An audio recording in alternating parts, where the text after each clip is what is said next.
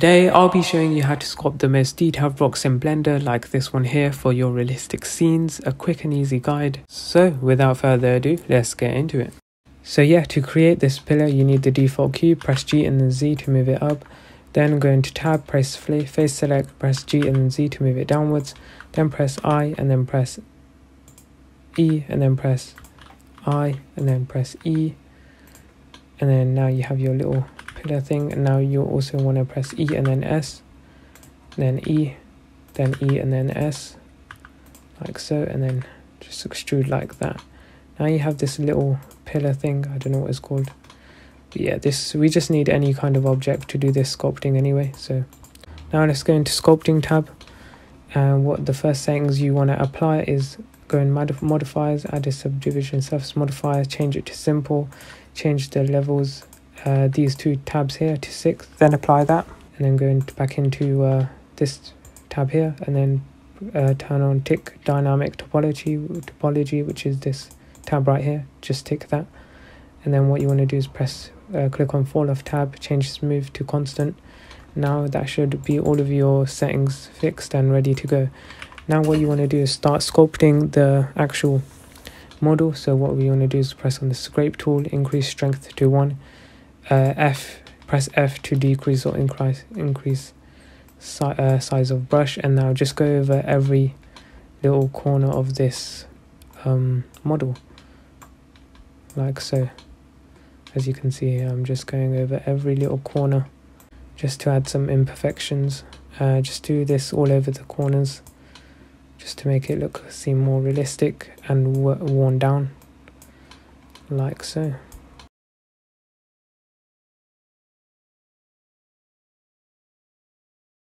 like so now what we want to do is press, uh, click on the draw sharp tool increase the strength to 1 and we just want to um, let's see. Just want to go over we just want to start creating lines like this. Straight lines like this just adding some cracks and detail to the actual model. Like so as you can see here I'm just doing some little cracks and stuff into the rock to make it seem more realistic and nice. So yeah, I'm just going to time lapse that. Just keep doing this.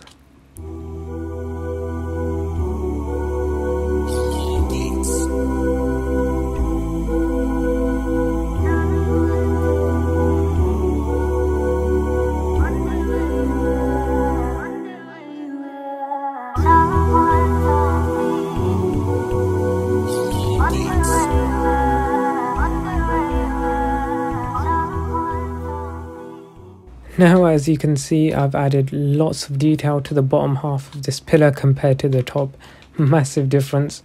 But all I did was I went in with this draw sharp tool, increased the strength to 1, radius 8, and I just went over like this, creating little lines like that. And it's, it's as simple as that, literally, nothing uh, too crazy.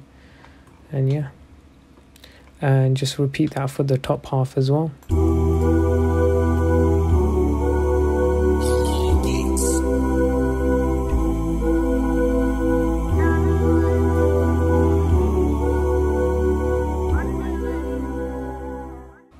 As you can see here there's no like real um there's no real like design pattern or plan I'm going for. I'm just adding like lines wherever I go. It doesn't really matter where I add it. I'm just adding it.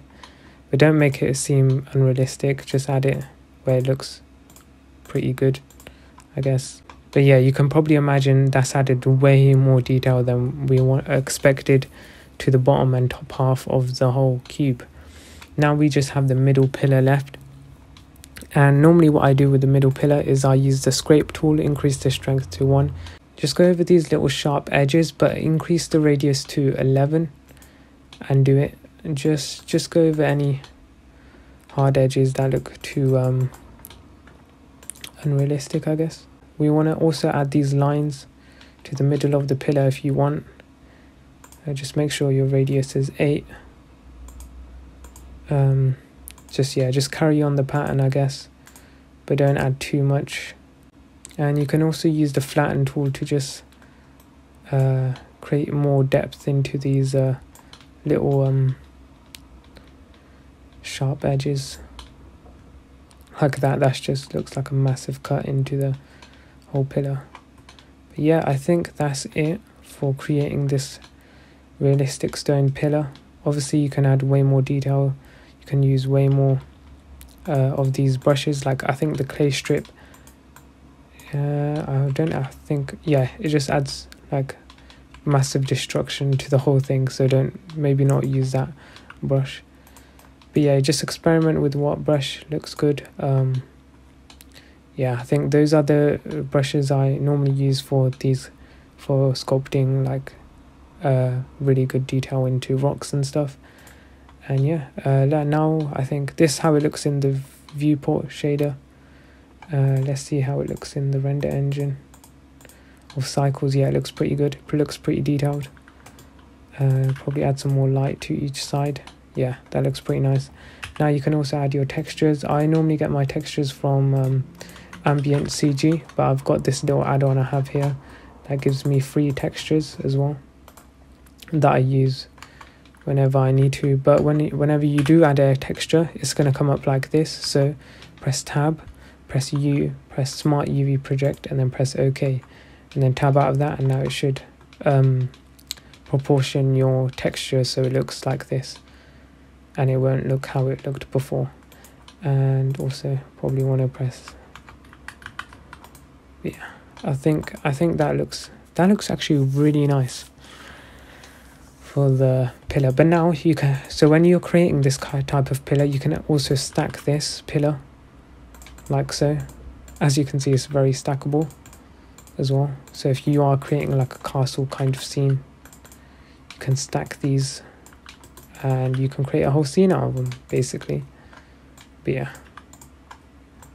that is it for the tutorial. Um, hope you guys enjoyed. Uh, please like and subscribe. Peace out.